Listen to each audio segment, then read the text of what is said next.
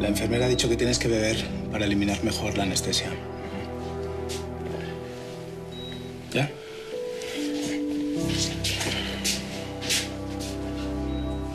¿Por qué no te bajas un rato a tomar un café a la cafetería? aunque solo sea para estirar las piernas. Que no, David, que no quiero dejarte solo. Pero si las enfermeras están entrando cada dos por tres. Sí. ¿Se puede? Sí, adelante. Mira, se ha despertado hace un rato. Hola. No sabía si traerte bombones y flores, así que te he traído todo. ¿Qué tal? ¿Cómo estás? Bien.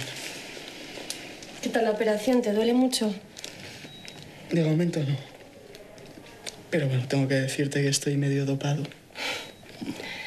Oye, que, que, yo solamente venía a preguntar si estabas bien. Que si te molesto o quieres descansar o lo que sea, me lo dices tranquilamente y me voy, ¿eh? Sin problemas. No molestas. Eh, yo voy a aprovechar para bajar a, a, desayunar. Es que no, no quiero dejarle solo. No me extraña, yo tampoco lo haría. Pero bajaré tranquilo que ya estoy yo aquí. No me pienso mover hasta que vuelvas. Muy bien. Espera, pongo esto ahí.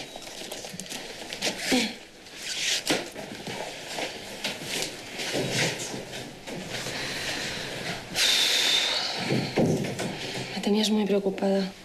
Me alegra ver que estás así de bien. No sé hasta qué punto sabes cómo he llegado hasta aquí. Bueno, hasta el punto en el que ha sido el propio Elías que me ha puesto al día de todo. Sé que estabais en una misión, colaborando con la policía para desarticular a una peligrosa banda internacional, ¿no? Y te contó Elías cómo acabamos metidos en eso.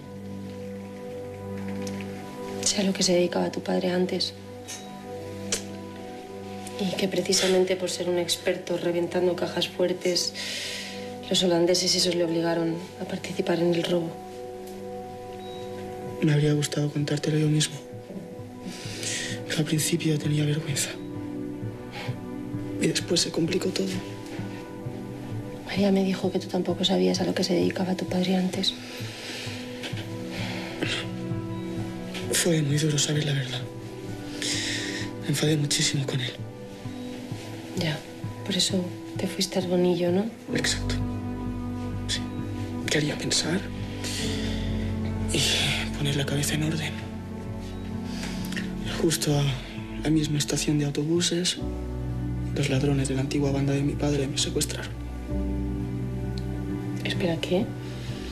¿Que te secuestraron? ¿Qué me estás contando, David? Sí, querían reorganizarse tras salir de la cárcel. Habían planeado un atraco y mi padre era una pieza clave. Y como él se negó, pues me secuestraron para obligarle a hacerlo. Y yo llamándote y escribiéndote mil millones de mensajes como si estuvieras en el pueblo. Siento mucho haberte tenido así, Patty.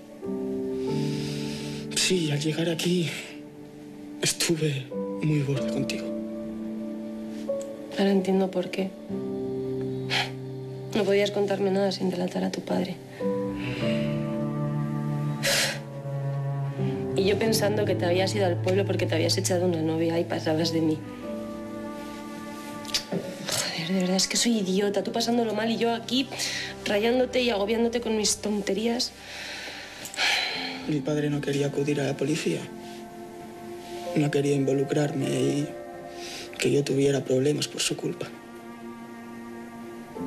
He estado sometido a mucha presión, Patty.